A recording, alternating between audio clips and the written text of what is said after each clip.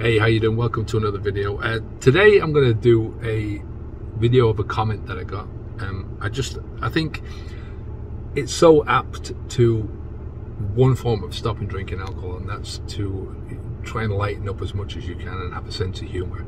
Um, you know, oftentimes it's a battle to try and not be a victim, right? A victim of yourself more than anything else. You know, to try and get away from that idea that. Um, you know feeling sorry for yourself you know. Sometimes you just have to try and try and do your best to look at the humor in the situation right? And there is always humor to to find if you're looking for it. Most people are not looking for it. But anyway this is the the comment that i got this morning. It's a bit of a long one but you know we'll go into it. I was listening to the part uh, this is from a video uh, that we did um, on a simple tip to get over the holiday season so just something uh, we were talking about um, just thinking about things, adjusting to what you're thinking of, and, and then um, coping with the rest of things that, that happen to you. it's that coping part of it, I think, that is, um, yes. First of all, thinking about things, and you're you're you're thinking about how you can how you can re see these things in your head, how you can uh, look at it through a different framework, then adjust your um, adjust your actions, adjust your your following thinking to that new framework, and then coping with what you're left with. You know, one of the best coping skills that you can have is comedy. So this was uh, a comment he was making on that subject. So I was listening to the part where I'm sober, surrounded by my family, um, my family members, my mates, and they were all intoxicated. The main feeling would be homicidal, to be perfectly honest nothing more nagging than having people having to deal with people drunken around you everything sounds empty shallow sarcastic downright lobotomized i swear i've based on open quote fuck's sake if this is who i am when i'm on the lash with all these morons is this who I am when I'm on the lash with all these morons? I've thought that on many occasions. Um, come next day, was much more motivated to do everything within my reach not to go get that first couple of cans or the pints in the morning, right? So, you know, he's basically saying that, you know, looking at other people's behavior, thinking, is this the, the behavior that I'm doing when I'm, when I'm drinking? How many times have I done that in the past? You know, um, this might sound pathetic, but one godsend that I've had this season is that for some reason, alcohol, he puts in quotes, particularly red wine, go figure, uh, it's the additives or the sulfites, has triggered a huge hemorrhoid crisis which will last this whole period, I'm certain of it.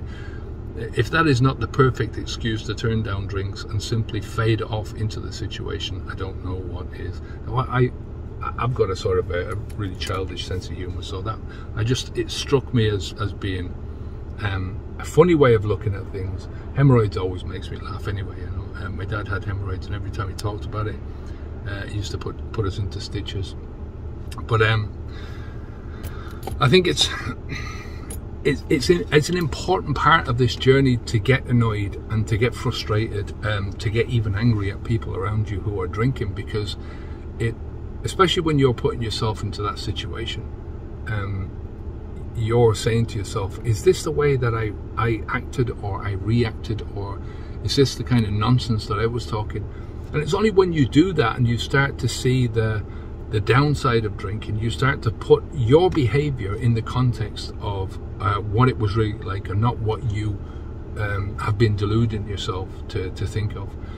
You know, we always say that if when you're drinking alcohol, you you go under a, a process of stupefaction. It doesn't, not just because you're drinking in that moment, but over time, your level becomes uh, more stupefied. You, it, it turns you into, uh, it turns you into a moron, basically.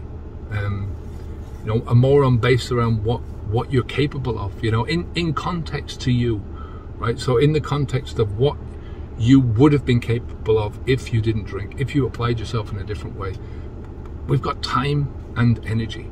Uh, those are the two biggest uh, things that you have in life, the biggest currencies that you've got to spend. Your time you're never getting back, right? The energy that you spent, you're never getting back. Hopefully, the next day you create more energy for yourself. But how you use those things, it's limited. So, how you use your time and how you use your energy, not only in that moment, but in the consequences of what you're doing. So it's all about trade-offs. It's all about doing something and then the trade-offs of that. You know what you're trading off.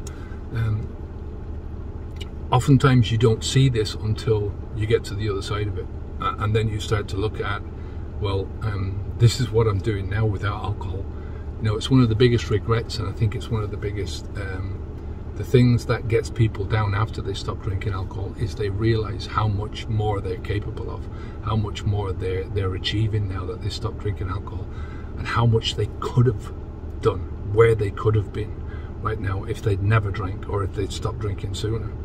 You know, that's one of the biggest downers about stopping drinking alcohol. But the the way I always look at that is, you have to look at well, I'm glad I did. I stopped when I did because if I didn't, where would I be now, right? So that's one of the ways of doing it. Um, it's always about trying to look at yourself through that same lens. Um, you know, trying to look at yourself through the lens that you're looking at other people now, when they're going through the drunken antics and thinking to yourself, you know, al- allowing that to sink into um, you as a person. Is this who you allowed yourself to be? Was it's all about choices. It's all about trade-offs. It's all about um, you know the the things that that you control in your life what you put into your mouth you can control that you know you know this is a it's a perfect example of creating barriers for yourself to going back to your old life or um, creating roadblocks that are stopping you are opening your mind to seeing your your old self in a certain way um, that opens your life to moving forward in a certain way right so this guy you know i've never heard of somebody using hemorrhoids as an excuse to stop drinking alcohol. That's a first for me, right? Um, but you know, it's whatever works for you. It's whatever works for you. Whatever works. You know, it might only help you for a week or two weeks or whatever it is. But like I said, there's a certain humor in it as well. You know, there's a certain humor about looking at life, about looking at the other people in your life. There's there's a certain when I'm with family, and I know where as I'm recording this, we're going up to my family at Christmas, and um, there's going to be drinking there, and there's going to be fun. You see a certain amount of fun when people are getting drunk and they're loosening up, and you know they're they're, they're saying things that they wouldn't otherwise be saying.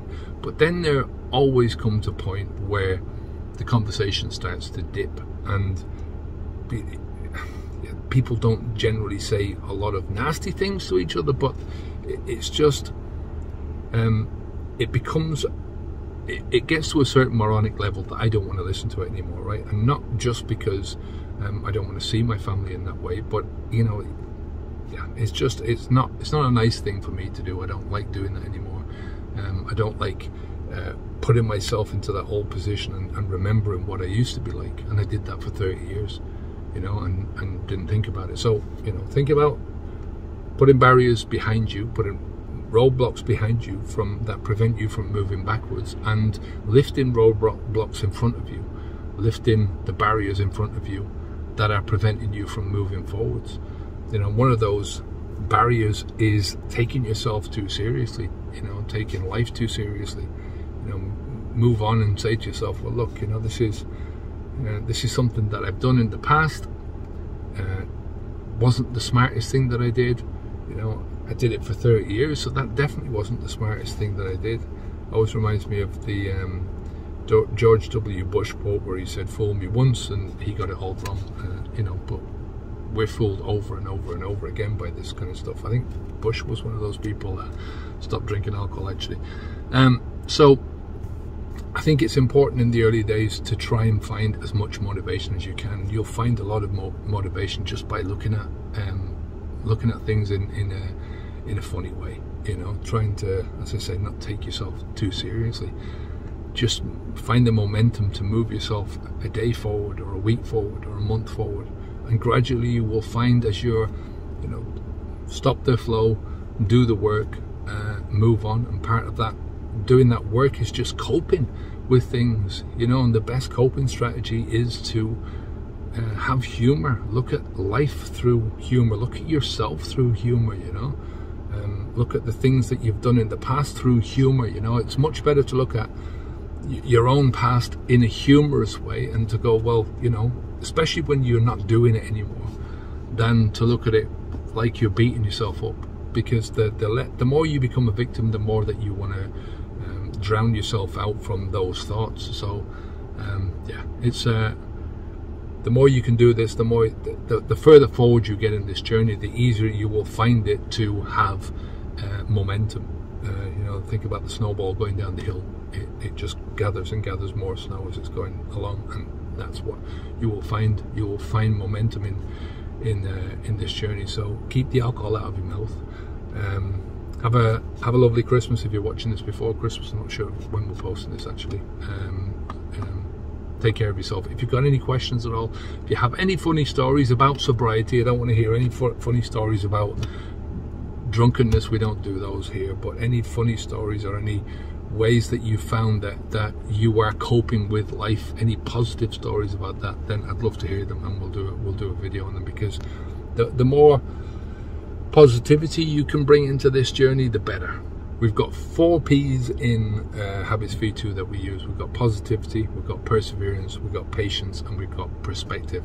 And it's in, you know, these all connect to each other. You know, you have patience with yourself. Uh, you're likely to have much more patience with yourself if you can be positive, right? You, are likely to have a much better perspective about what you're looking uh, at in the future if you can be positive. You know, think about when you when you think about yourself in uh, in future years, it, when you're in a negative mood, it's very difficult to think about your future self in a positive light. But when you look at your future self in a positive mood, when you're happy, it's very easy to look at that in a uh, to look at yourself in a positive light, right? So, um, just a few tips and tricks. Um, so if you've got any questions, if you've got any any comments at all about that kind of stuff, I'd love to hear them. Uh, take care of yourself. Onwards and upwards. Keep the alcohol out of your mouth. Bye now.